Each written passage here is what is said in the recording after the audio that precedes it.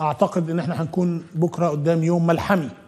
هنكون قدام يوم للغضب لرفض العربدة والوحشية. هنكون قدام مشهد إنساني في كل بلد حر في كل بلد في مبادئ للإنسانية ما زالت في قلوب الناس. هنشوف المشاهد مرة تانية من موريتانيا. ومن المغرب ومن الجزائر ومن تونس ومن ليبيا. وهنشوفها من مصر وهنشوفها من السودان هنشوفها من الصومال وجيبوتي هنشوفها من اليمن من عمان من الإمارات من قطر من البحرين من الكويت من المملكة العربية السعودية.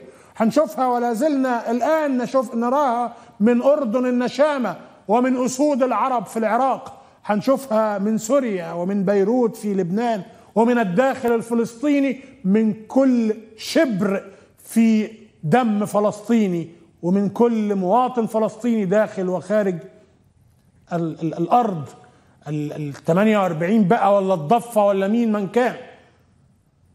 ده المنتظر. منتظر نشوف ده من الشعوب الحرة.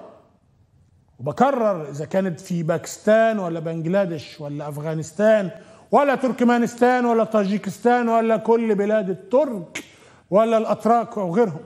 الآن تونس الآن لا زالت الناس في شارع الحبيب بورقيبة شارع الثورة وميدان الثورة في تونس. الهتافات الهتافات الآن باسم فلسطين